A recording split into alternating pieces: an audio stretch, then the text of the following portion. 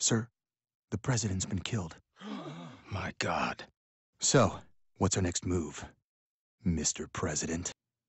There's going to be some changes around here.